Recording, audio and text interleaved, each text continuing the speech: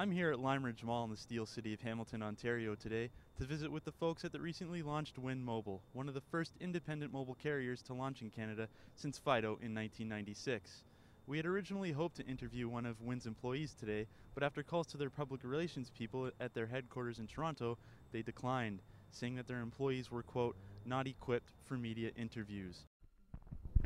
While Wind Mobile is the new provider on the block in the often monopolized wireless market, the people of Hamilton are still on the fence about this internationally owned operator. I think we should keep it Canadian. I think that it gives the Canadian marketplace more opportunity to be more competitive. It actually forces them to bring their prices down. I think it's a great thing.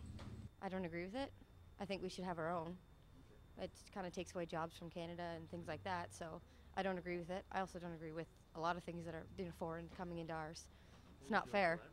It's not fair because you know our jobs get taken away from us for plus it's money that's out of our pockets for them to provide for them. We just give it to them when they come to the country, and that's not fair to us.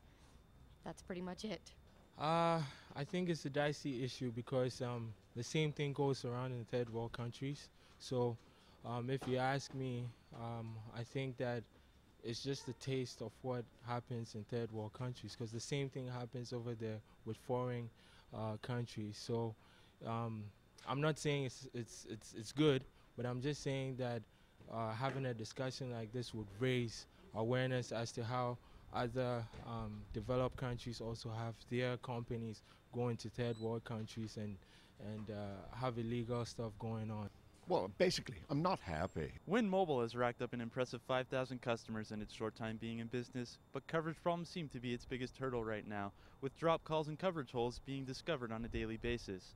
Wind's chief customer officer, Chris Robbins, has said there is work ongoing on a daily basis on Wind's towers, and they hope to have all the kinks worked out in time for their Ottawa launch.